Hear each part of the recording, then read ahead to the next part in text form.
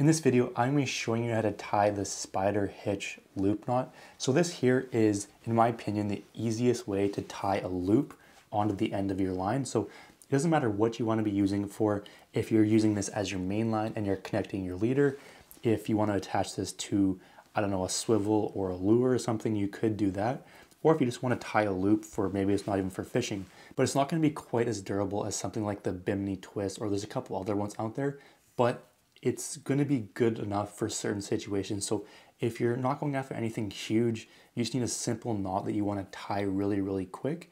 This here is going to be your bet. I've never really had any issues with it. It's always held up fine. But if you are looking for something quick, easy, and strong enough for most cases, this could be your best bet. If you want something a bit more stronger, it's gonna be harder to tie, but there's also the Bimini twist. So I'll leave a link for that down below, but both are great options and are gonna be something you wanna learn how to tie.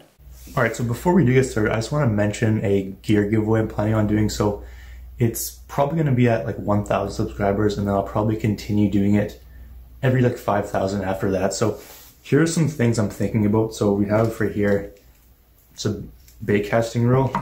We also have like a backpack, you know, fishing backpack. I just toss everything in there whenever I'm going out. It's really, really useful.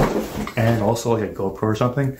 So that's kind of what I'm thinking about right now. If you do have any suggestions for anything else, just leave a comment down below and um, I'll figure something out. But if you do want to enter, I need you to do three things. Okay, so first, subscribe to the channel, like this video, and comment giveaway down below. Just do those three things and you'll be automatically entered. All right, so if you do want to enter, then good luck and we will jump back to the video. All right, so you're gonna wanna get your line laid out like this here. And the very first step is to double your line back. So we have the end of the line here. So all we gotta do is double it and make a double line just like that. All right, so we're gonna have one loop right here. And then what we're also gonna wanna do is we're gonna wanna make a second loop behind the first one. So all we have to do is make another loop just like that. All right, so we have one loop here and one loop here. What you then want to do is you want to grab this loop. So we're going to grab it right here where all the lines cross and we're going to hold it with our finger and thumb. So we're just going to hold it just like that. Right, so we got one loop, one loop, and then we got our main line and tag end here. What you're then going to do is you're going to grab this loop here. So this is the very first loop we made. And we're going to take it and we're going to wrap it around our thumb and also around these two loops here. So it's going to go around the two loops, around my thumb. If we're using fluorocarbon or monofilament, you'll want to wrap it five times around. If you're using braid, you want to do 15 times around, okay? So I'm just going to do, I'm using thicker rope, so I'll probably just do like three just because I, I can't really do any more than that. But if you're doing with normal fishing line, do five or 15 depending on what you're using. And what you want to do is you, you want to wrap them around as nicely as possible. So you'll kind of want to go like that and then you want to kind of have them so they go just kind of like that. Like you wouldn't want them over top of each other or like crisscrossing. Try to keep them as nice as possible. So we're going to do one. We're going to do two.